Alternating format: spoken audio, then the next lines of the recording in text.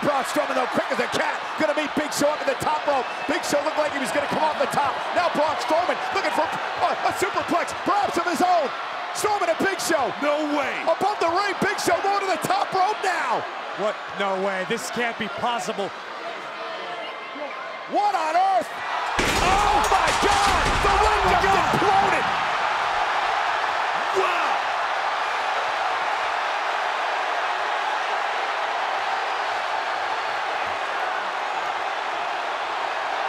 You gotta be kidding me!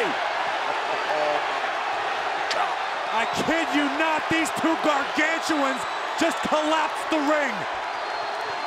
Referee John Cone went flying, literally flying out of the ring as it imploded. These two behemoths left in heaps in the middle of the ring.